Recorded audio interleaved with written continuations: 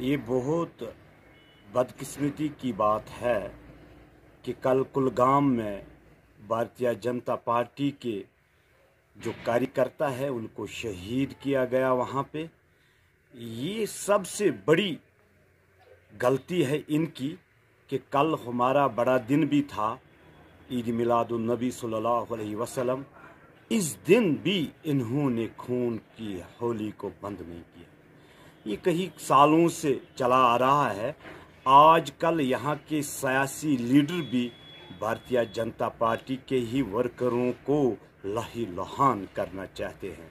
दहशत गर्द, ये समझ जाएँ कि अब भारतीय जनता पार्टी के वर्कर किसी जगह डरने वाले नहीं हैं। हम बिल्कुल डटे हुए हैं और इस देश के लिए काम कर रहे हैं।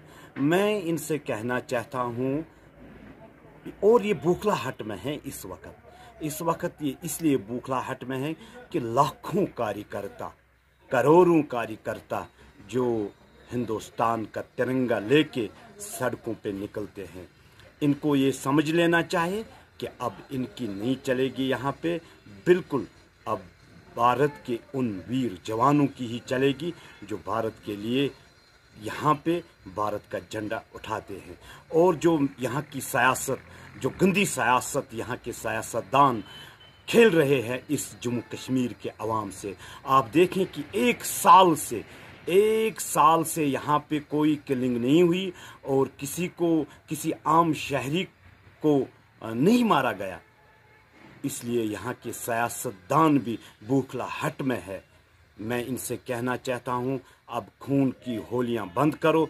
इन रहमान, यहाँ पे भारतीय जनता पार्टी